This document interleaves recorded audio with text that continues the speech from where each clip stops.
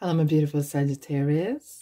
How are you doing? Welcome, welcome to this reading. Now, we are going to do a weekly reading for July 24th through to 30th. We are entering Leo season indeed. Empowerment and courage and confidence. Yay. All right, Sag. Have you checked your sun, moon, and rising and Venus sign and all the signs that you have in your chart? And explore what is what is connecting you with. Because lately I have to say I resonate more with my moon sign rather than the sun. So you might get more in-depth information on detail in those videos as well. Let's have a look. General moods and what's going on in this week. Hmm.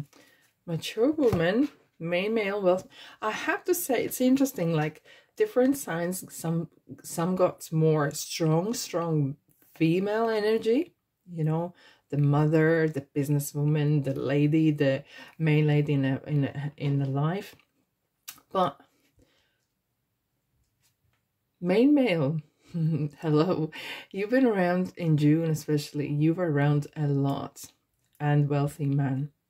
Mm-hmm now, what's going on? We have the spare, we have main male, wealthy man, and mature woman. Okay, so what I'm seeing here is there is some sort of decision making divide. And you know what? Sometimes you might have 10 things going in your life, and one thing is really bothering you. Even though the rest of nine are perfect, as perfect they can be, it feels like something in your life is troubling you to the point I wouldn't be surprised to see um, eight of swords, nine of swords, ten of swords in this reading because something is bothering you or you don't know how to deal with this.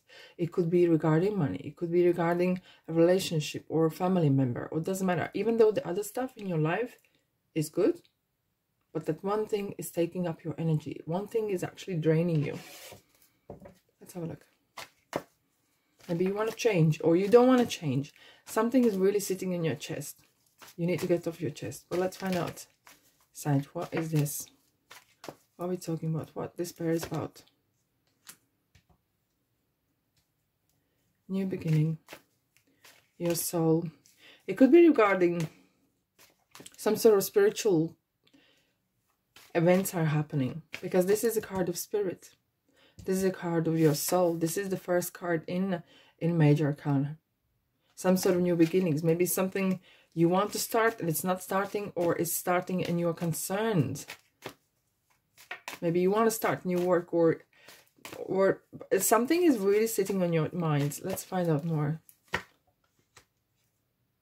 And it's interesting, the Six of Pentacles keep coming out. There is some sort of opportunity given to you. But you are, for some reason, you are not sure whether to take this. Here we go. The Ten of Swords is here. Okay. It could be that... Oh, right. I can see. Oh, here we go. We have the Nine Swords as well. And Two Swords. Okay, the whole full house nearly. Now, from that, either you are... and might not resonate with every one of you. Either you are rebelling against your current community, family, belief systems, religion, the I in kind of general um, ideologies. That could be for some people. That could be really, really resonate. Not everyone, but I feel like you want to break free. You want this to end. It feels like you're waiting for that green light. You're literally waiting for universe to give you that green light that you can move on. Because it feels like something is suffocating you. And you're just like, you have, you're literally down, pinned down to the ground. And it's going too slow. Either someone's controlling your money, someone's controlling the way you live, what you think, where you can or can't go. You have big dreams here. But you're tied up again. It's literally you one step ahead three steps back it's constantly you're trying to find way how to break free and it's like no yes no yes and you just can't get anywhere All right, advice on this. Sagittarius, what's going on? Interestingly, 3, 2 is 5, and we got the 5 here. Yeah, shadow side, and we have the 9 swords again. Who is controlling you? Are these habits? Is that like genuinely mental anxiety? And that can sometimes be meant like anxiety or depression is a thief. It steals your life. Hence, if that's the case, it's very important to speak to someone and discuss. And it's hard sometimes with people you know, so maybe you need to reach out to someone who is um, a professional. And here we go, eight swords again. Okay. Now, with shadow side here, sometimes seems that the fear is controlling you, even though it's not true. We can choose either we go with love or fear. And sometimes we feel like we have no choice, we do. It feels like, I know if it's a family, you can't perhaps choose who you are, what is your family. But it feels like you're hanging around and sacrificing yourself or someone, like you're sacrificing your life for something or someone. But you're trying to weigh, you're kind of trying to find the way out. Your teamwork, your team member, your team player, you're trying, you want to please or you want to keep peace. But what happens then? You start the war inside yourself.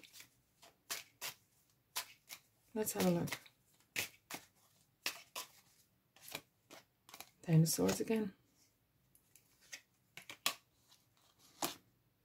Mm -hmm. For some of you, maybe you want to be with a person that rest of your family or community is not supporting. Or you want to do things that are not supported. Or are so crazy bonkers and you kind of fear what someone is going to tell. What they're going to think. Whenever we have the sun though, the lucky opportunity is going to come. And you got to be ready to go with it. Choice is yours. The choice is yours. At some point, you will have to make that decision. You want to keep everyone else happy, everyone else happy, but yourself miserable. Yeah. Here you feels like you want to connect with really, it feels like you, you are missing kind of like-minded people. You want to look, and the, the mood completely changed. Yes, there is a person you want to be with, perhaps uh, who you know before or feel like you want to feel happy as you were before. Doesn't have to be the same person. Well, Empress is a mother. Maybe you want to start new family, you want to start new business. And with the two cups and the nine of cups, dream come true. There's some person perhaps, or place, or work, or whatever you do, is something that could fulfill your cup. Hmm. Interesting. The Six of Swords is constantly popping in my uh, provisional. I can see constantly as I'm shuffling, as if like you are taking that decision to move away, shift your beliefs about yourself, what you want to do. And ace is beginnings, starting new work, starting new chapter in your life, new passion, new love. Wealthy man, let's have a look. What you're gonna tell us? Seven of Pentacles. and the strength and nine of cups and here she's back again yeah interesting you are you're going to be challenged Sag it's not going to come easy as you would like to you will have to take some measures and make some um, bold decisions that are going to pay off it feels like you're branching on your own look perhaps you're actually traveling away and looking forward.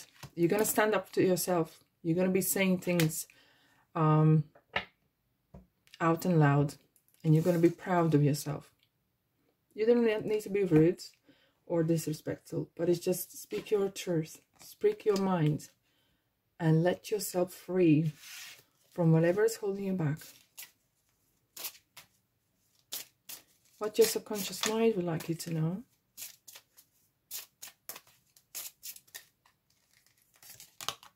rest. You're tired. This situation has really drained you. And it feels like your body, mind, and spirit needs some nourishment.